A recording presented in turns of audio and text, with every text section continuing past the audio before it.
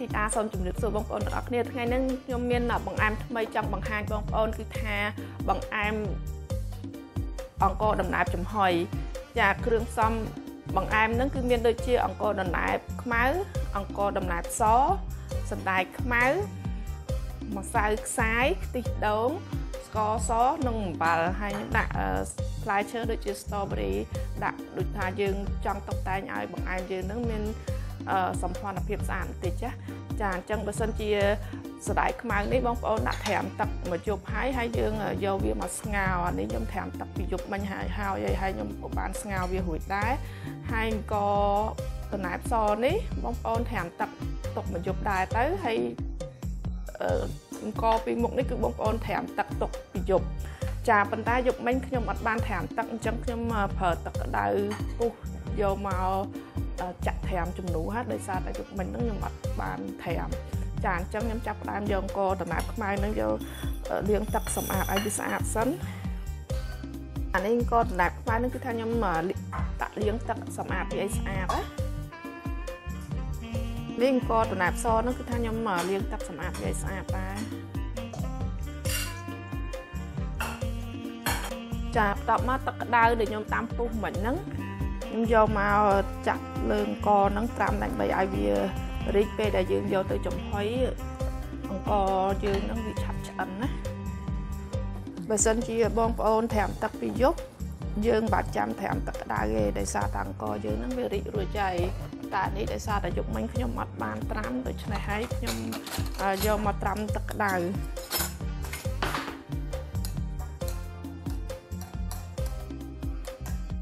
ចាយើងត្រាំទឹកក្តៅនឹងប្រហែលជា15នាទីតិចសិនខ្ញុំត្រាំទឹកក្តៅមិញប្រហែលជា15នាទីហើយអញ្ចឹងខ្ញុំសម្រោះទឹកនឹងចេញចាបន្ទាប់មកអង្គតំណាប់ខ្មៅនេះខ្ញុំសម្រោះទឹកនឹងចេញដែរ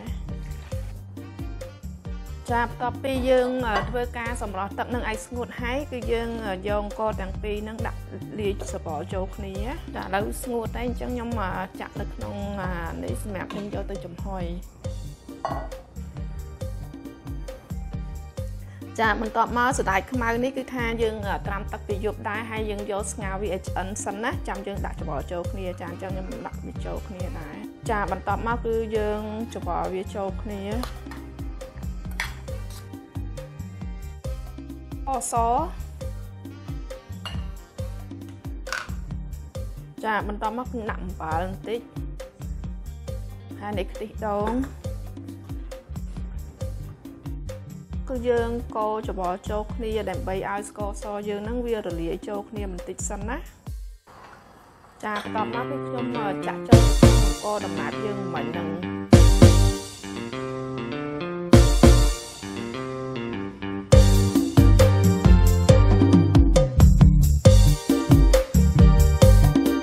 បន្ទាប់មកគឺយើងចុចអង្គនឹងឲ្យវាហាប់ចូលគ្នាទៅហើយយើងយកទៅចំហុយបានយកវាទៅចំហុយ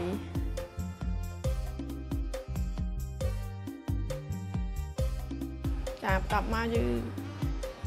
ទឹកយើងពុះហ្នឹងចាំយើងដាក់វាចំហុយចាឥឡូវទឹកហ្នឹងគឺបានពុះហើយអញ្ចឹងខ្ញុំចាប់ផ្ដើមយកវាមកចំហុយហើយ តបមកគឺយើងធ្វើការបិទកម្របហើយរងចាំរយៈពេលប្រហែលជា40នាទីអីចាំយើងបើកម្ដងទៀតណា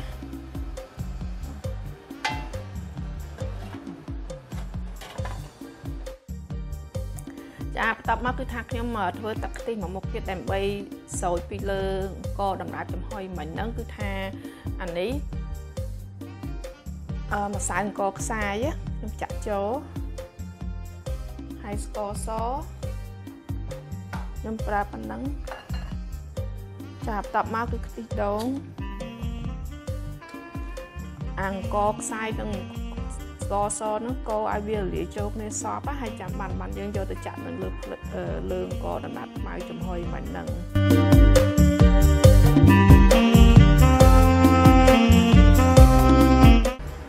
ចាខ្ញុំចំហុយផាជារយៈពេល40នាទីហើយអញ្ចឹងខ្ញុំចាប់ផ្ដើមបើកកម្របវាបើកវាឲ្យស្រួលបួនតិចតែអញ្ចឹងចំហួរទឹកហ្នឹងវាអាចធ្លាក់ចូលទៅក្នុងបាយចំហុយយើង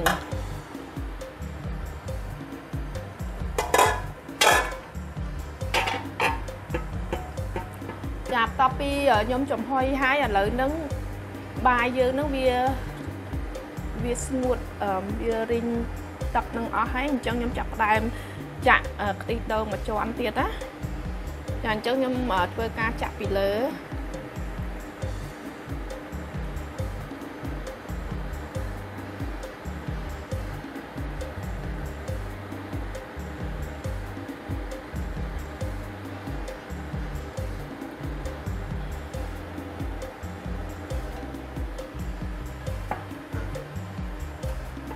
ចាបន្ទាប់មកគឺយើងក្របវា ចំហុយវាប្រហែលជាកន្លះម៉ោងទៀតបានបានខ្ទិះដូងហ្នឹងវារឹងណា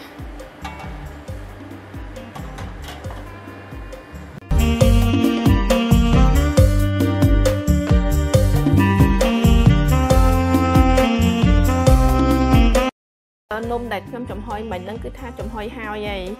ហើយហើយខ្ញុំចាប់ផ្ដើមធ្វើការហាន់ចិត្តខូចដើម្បីតុបតែងលម្អឲ្យ នំយើងហ្នឹងវាមានសោភ័ណភាពស្អាតហើយណាមួយនំនេះយើងអាចចំហុយហើយយើងអាចធ្វើជា birthday cake ក៏បានដែរ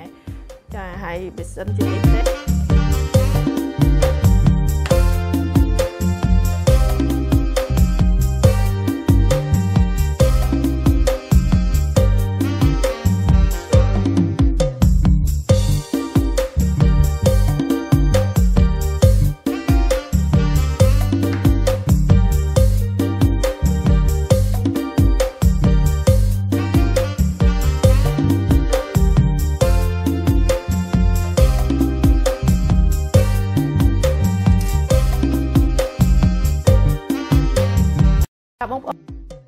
ថាមានរសជាតិ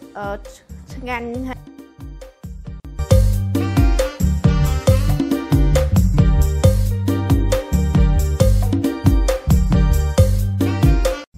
ខ្ញុំសូមអរគុណច្រើនដល់បងប្អូនដែលទស្សនាវីដេអូខ្ញុំពីដើមដល់ចប់សូមបងប្អូនជួយ like និង subscribe នៅ channel YouTube របស់នាងខ្ញុំដើម្បីទទួលយកវីដេអូថ្មីៗ